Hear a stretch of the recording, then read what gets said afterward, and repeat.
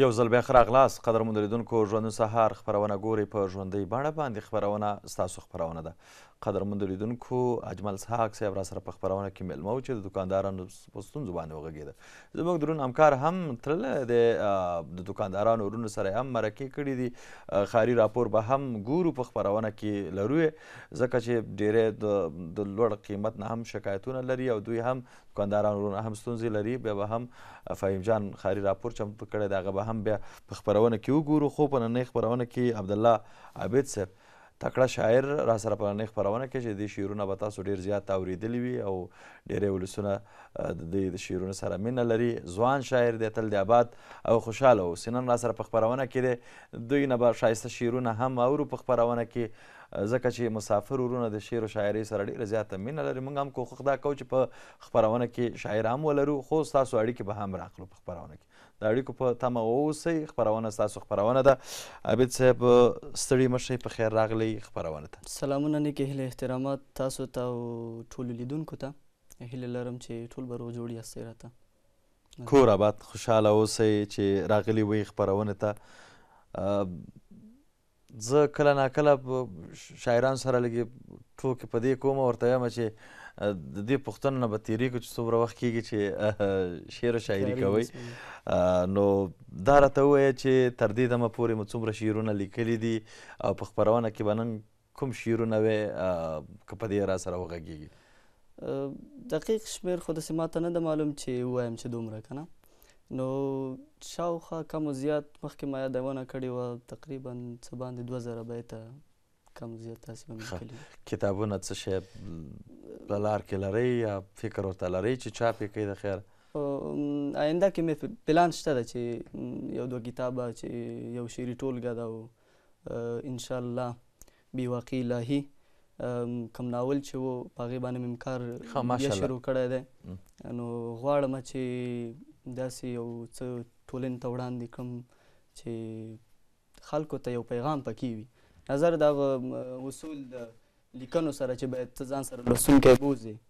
خو دا هم پکار ده چې ټولنې ته زیات پیغامونه پکې ووسي نو هغه ناول هم انشاءالله چاپیږي به چا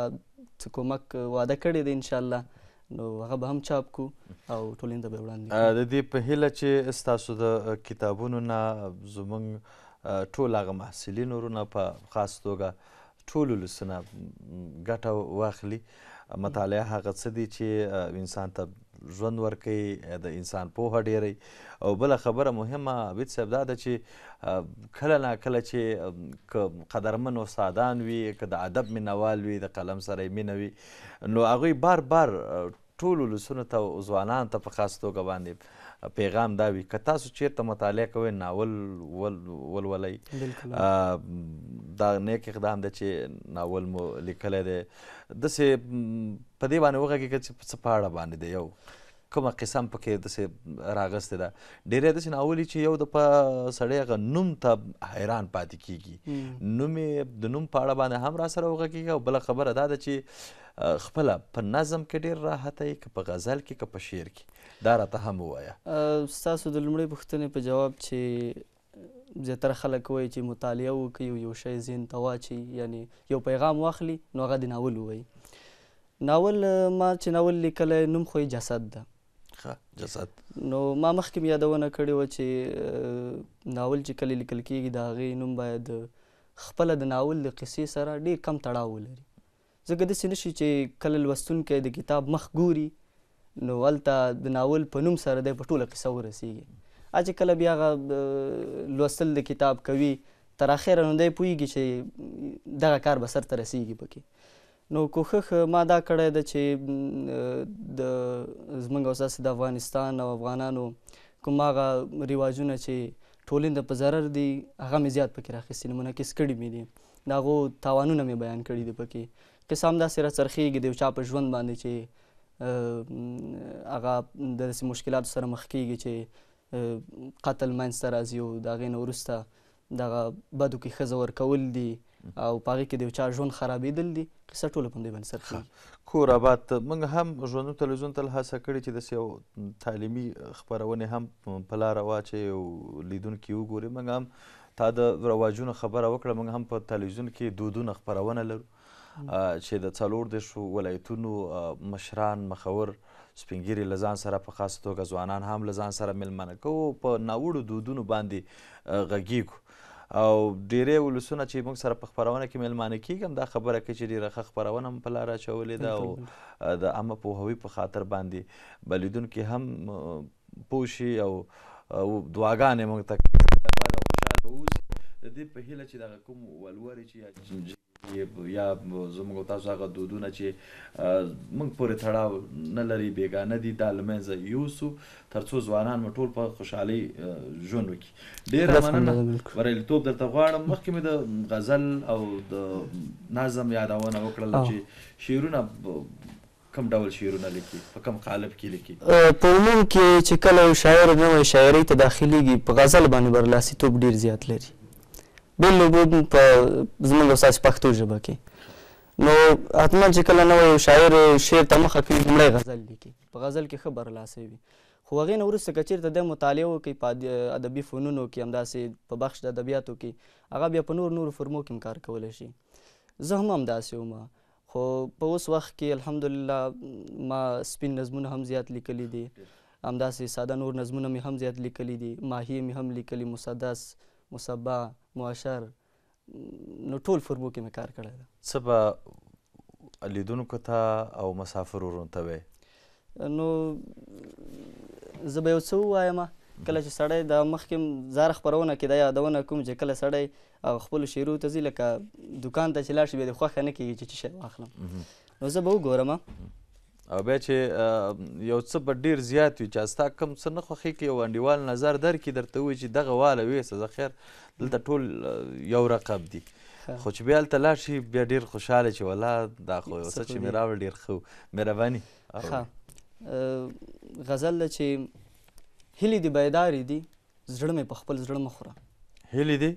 هیلې دې بیدارې دي زړه مې په خپل زړه مخوره سر دې راوچت که نور اوښکې په باړه مخوره هیلې دې بیدارې دي زړه مې په خپل زړه مخوره سر دې راوچت که نور اوښکې په باړه مخوره جهله نور نو ختم شه جهله جهله نور نو ختم شه جهله ظلم حد لري جهله نور نو ختم شه جهله ظلم حد لري تیر نسل دی وخوړه دا واړه واړه مخوره او ډیر می انتظار کړی زړه می ماتوه مه نور ډیر می انتظار کړی زړه می ماتوه نور ډیر می انتظار کړی زړه می ماتوه مه نور لار می تر مخ ډیر پرته نور می په کاته مه خوره او مشره که غږ اورې می مشره دغه واوره ته مشره مشره که غږ اورې مې مشره دغه واوره ته مشره دا تیاره جهل داسې په تیاره مه خوره مشره که غږ اورې مې مشره دغه واوره ته مشره دا تیاره جهل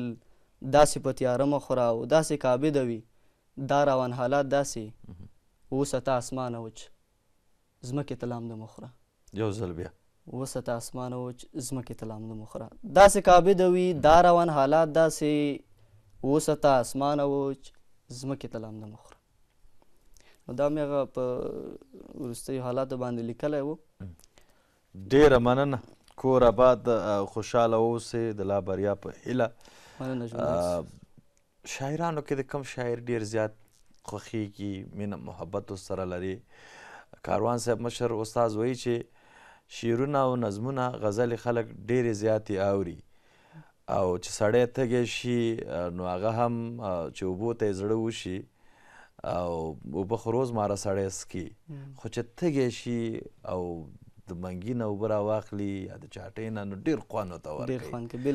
نو دغه شعر و شاعري هم همداسې ده ټول اورېدونکي لیدونکي د دې په تمه دي چې یو شعر د نه بل هم واورو بل په شاعرانو کې د کوم شاعر ډېر زیات خوښېږي ډېر ته متاثر او ډېر یې اورې په شاعرانو کې که زه ووایم اول سړي شعر خوښېږي په عموم کې داسې سړی نشي ویلی چې مثال زما پلانکی شاعر خوښیږي ما خپله چې په مخکینیو شاعرانو کې خوشحال بابا ډیر زیات مطالعه کړی ده او د اوس وخت سرلاری شاعر پیر محمد کاروان صاحب زما د خوښې شاعر ده او دغه هغه کم تخلیقات چې دغه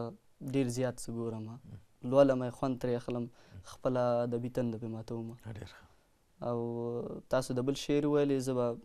بل شعر به ووایم مهرباني شعر اورو چې سترګې مې ډکې شي د عقل نه پناه ویسمه سترګې مې ډکې شي د عقل نه پناه یوسمه د درد ملګری شم د خپل وجود نه ساه ویسمه زړه مې صبرېږي نه ضمیر مې اجازت نه کوي چې تا ته لپه په لاسونو د ښې راویسم وخت به یې راشي دا کړۍ به د ظلمت ورانې کړم وخت به یې راشي دا کړۍ به د ظلمت ورانې کړم دا ماښامۍ به زه تر روڼ سار سبا ویسمه وخت به راشي دا کړۍ به د ظلمت ورانې کړم دا ماښامۍ به زه تر روڼ سهار سبا ویسم نور به دامن زمزمې کوم جنګونه بس دي نور به نور به دامن زمزمې کوم جنګونه بس دي غواړم چې دا یوه خبره تر پاچا ویسم او دا مې نیکه دی را بخښلی اجازت به دې وي دا مې نیکه دی را بخښلی اجازت به دې وي که دا جایداد او دا پټي درنه کاکا ویسمه عابده هغه ښاپېرۍ درنه الوتې ده نن عابده هغه ښاپېرۍ درنه الوتې ده نن عابده هغه ښاپېرۍ درنه الوتې ده نن چې به یې ویلې ستا دردونه به تر چا ویسمه چې به یې ویلې ستا دردونه به تر چا ویسم ډیر ښه ډیر ښکلی مننه ژوندی اوسې آباد اوس یو شعر راته بل هم ووایه بیا به یو دیکلومه واورو لنډ پیغام به دې هم واورو مهرباني صحیح دی زه به وګورم بل شعر چې ښکل مې کړلې سترګې د یو چا سترګو ته تللې وې توندې بوړبکۍ د یو طوفان سترګو ته تللې وې ښکل مې کړلې سترګې يو انسان سترګو ته تللې وې توندې بوړبکۍ د يو طوفان سترګو ته تللې وې هېره مې سجده وه ډېر ساعت داسې ولاړوم هېره مې سجده وه ډېر ساعت داسې ولاړوم ټولې فاتحې مې د جانان سترګو ته تللې وې او هیلې به یې پوره تر خپل مقصده رسېدلې وي. هیلې؟ هیلې به یې پوره تر خپل مقصده رسېدلې وي، کاش د یوسف مخې د کنعان سترګو ته تللې وي. واه، ډېر ښه. او ماته چې د چا په شتون کې هېڅ یوه رانغلله. ماته؟ ماته چې د چا په شتون کې هېڅ یوه رانغلله، اوس دا خوشحالۍ دې د تاوان سترګو ته تللې وي او ورځ کې چې پنځه وخته نشه په ما راتلله نو یاره ستا نامې اندازان سترګو ته تللې وي ورځ کې چې پنځه وخته نشه په ما راتلله نو یاره ستا نامې آن د اذان سترګو ته تللی وي او نه مني قرآن عابده دا ښکلې کافره ده نه مني قرآن عابده دا ښکلې کافره ده تمې مې والله چې د قران سترګو ته تللي وي واه ډیر تمه مې والله چې د قران سترګو ته تللي وي ډیر ښکلی ډیر ښه مننه ډیر علامه آباد لره خوشاله اوسئ بهیرونو کې یا بنډارونو کې ګډون کوئ لوی لوی مشاعریو کې په خوست کې کیږي په کندهار کې هلمند کې کونړ کې سمسور لغمان جلال آباد تګ راتګ لرئ څومره هماهنګ یوئ په کابل کې چې کوم ادبي بهیرونه دي هیواد ادبي بهیر ده ارمان ادبي فرهنګي ټولنه ده همداسې افغان ادبي بهیر ده ټولو سره موږ هماهنګ یو په هر ځای کې موږ ګډون کوو که هغه په هر ځای کې وي ټول زموږ خپل ادبي بهیرونه دي مشخص دی پورې تړلې نه یو همداسې که ولایت دی په ننګرهار ولایت کې په سرلنې مشاعره کیږي همداسې نور ولایتو کې چې وسم کیږي زو دغه ملګرو سره رابطه نیسو او خپل ادبي ذوقونه سره عابد صاحب یوه پوښتنه دا ده چې اخري پوښتنه ده ډیری چې څوک شعر و شاعري لیکي او یا د نورو درنو قدرمنو استادانو شعر و شاعري اوري هرمان یې دی چې دغه شاعران وګوري او ارمان هم همدا زیاتره شعرونه ډېر زیات لیکلي خو د یو شاعر ډېر ارمانجن یې چې کاشکې دا استاد مې لیدلی دا خپل شعرونه مې ورته ښودلی وای چې زه هم ستاسو په لاره باندې روان یم داسې د کوم شاعر د ډېر مخکې د استاد یادونه دې وکړه لیدلی مو دی او سره ناست یې پیر محمد کاروان صاحب خو الله دې ژوندی لري امین ډېر مو ورسره لیدلي دي، ناسته پاسته مو ورسره کړې، نو هغه موږ ته ډېره روحیه راکوي، ډېر ډاډ راکوي، موږ دومره تشویقوي چې حتی دغه پنځونې چې اوس موږ کوو، که ووایم چې د هغو د برکته دي کمه به نه وي، ځکه هغوی موږ ته دومره روحیه راکوي، دومره تشویق راکوي چې موږ هڅوي چې د دې نه لا ښې پنځونې وکړو، لا ښه شعر ولیکو. نو پیر محمد کاروان صاحب سره کینو، پاڅېږو، مجالس کې ورسره شرکت کوو. او الله دي ژوندی لري همداسي نور کوم شاعران چي دي هغو سره هم که نور نه وي د مجازي نړۍ د لاري ورسره کوم چي په لري خارج کي وي يا په کوزه پښتونخوا کي وي د هغو سره ټولو سره د فيسبوک د لاري هماهنګ یو ډېره مننه کور آباد خوشاله اوسئ چې راغلي وئ خپرونې ته په اخر کې پیغام څه پیغام لرئ په اخر کې پیغام به زه دا ټولو لیدونکو ته وړاندې کوم بالخصوص هغه چې په تعلیمي نصاب کې دي نو هغوی ته زما پیغام دا ده چې ژوند په امیدونو خوړل شوی ده خپل ارمان او هیلې په زړه کې وساتئ دا ژوند ده چې د ټيټو جګو سره مخ کېږي او دا ژوند ده چې موږ او تاسې د کواړو ناکواړو سره مخامخ کوي نو خپل امیدونه د لاسه مه ورکوئ ان شاء الله دا کوم مشکلات چې دا به حل شي یو ښه ماحول به جوړ شي زمونږ دا غوښتنه ده د مشرتابه نه چې دغه کوم نصاب کې چې تحولات راغلي ښه ماحول ورته برابر کړي او بیرته مونږ او تاسو خپل تعلیم او کور آباد ادامه ورکړو ډیره مننه عبید صاحب چې راغلی خبرونه ته کور آباد خوشاله اوسه ډیره زیاته مننه کو هر کله راشي موږ هم کو خدا کو چې څلور د ټولایتونو په هر ځکه چې شاعر وي که په ګران وطن کې وي ډیری شاعران موږ سره چې اړیکه نیسي په سعودي عربستان کې په دوبۍ کې د مسافرۍ شپې ورځې تیری ډیری وي چې موږ کله راشو غفور جان منګل کله اړیکه ونیسي وایي چې زما دا ارمان دی چې د ژوندون سهار خپرونه کې کینم نو دا د ټولو شاعرانو خپرونه ده هر شاعر کولی شي چې په دې خپرونه کې موږ سره ملمه شي ځکه چې موږ هم کوښښ دا کوو چې د هر ولایت تکړه شاعران له ځان سره ملمانه کړو ترڅو مسافرینو ته خپل ولس ته ښایسته شعرونه غزلې نظمونه ووایي ډیره مننه کور اباد چې راغلې خپرونه ته هر کله راشئ دکلومه اورو ګورو بیا به هم ستاسو اړیکې راخلو تاسو هم د اړیکو په تمه هم اوسئ